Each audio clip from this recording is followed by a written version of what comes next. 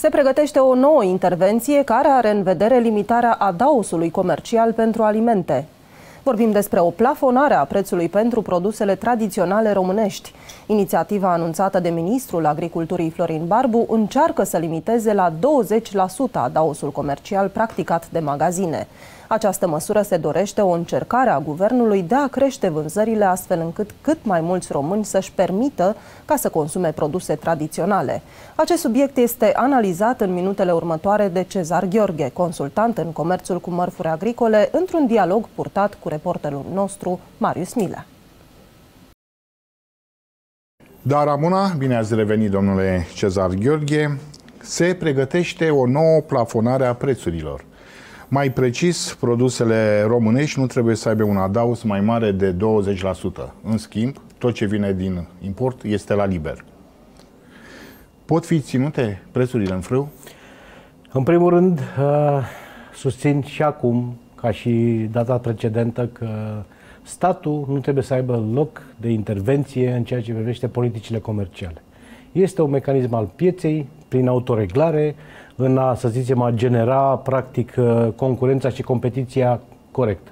Dacă noi acum plafonăm, să spunem, prețurile la produse de bază sau lista care e dată de guvern și pe cele din afară le lăsăm, n-am rezolvat absolut nimic. Credeți-mă. Uh, fiecare poate își va plafona o gamă de produse și o altă gamă, să zicem, adiacentă va căpăta altă conotație sau își va transfera marja operațională către alt produs. Nu va rezolva absolut nimic acest lucru pentru că, după cum bine vedem, în ciuda celor spuse de guvern, uh, prețurile cresc în continuare la rafturi și vor crește, pentru că e vorba de o inflație, deci de o taxare nelegiferată care acționează în continuare implacabil. Absolut implacabil. Și această măsură este una populistă, să înțeleg? Este doar una populistă, să nu uităm nicio clipă, dar absolut nicio clipă, că ne aflăm în 2024, un an în care toată lumea are interes să adune voturi, da, să capitalizeze.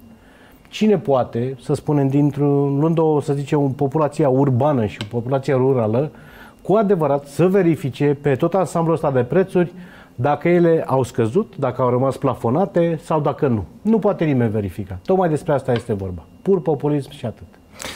Putem să ne așteptăm la măriri de prețuri în uh, viitorul apropiat? Cu siguranță. Orice este posibil. În ciuda faptului că prețul la nivel global al materiilor prime a scăzut, prețul îngrășămintelor a scăzut, prețul energiei, al gazului, să spunem, au scăzut, da? Uh, lucrurile astea să știți că merg într-o direcție, pentru simplu motiv că salariile trebuie menținute, sunt cheltuielile care la fel la rândul lor trebuie uh, ținute și menținute. Deci sunt mulți alți factori care se vor contopi într-un, uh, într-un cumul final ce vor aduce la raft prețul mult mai ridicat. Când se vor stabiliza prețurile? Când vor dispărea astfel de măsuri sau piața își va Exact, spune? nu. Când vor dispărea astfel de măsuri? Pentru că în momentul ăla se autoreglează totul.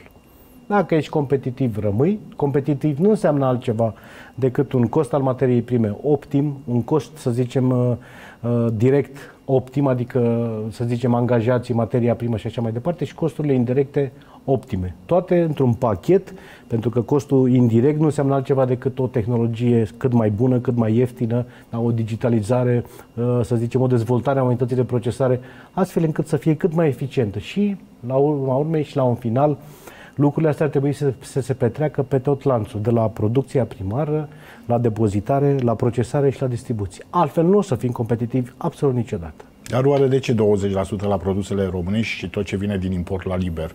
Chiar nici eu nu pot să o înțeleg, dar e ca și cum ai pune capac și căluși la gură procesării românești într-un final. Dar nu doresc să comentez acest lucru. Încă o dată, cum a spus bine și dumneavoastră, este vorba pur de populism și v-am spus, o parte din marja operațională va pleca către, să zicem, alte produse și vor compensa cu momentul și cu locul pentru care li s-a pus capac în alte produse.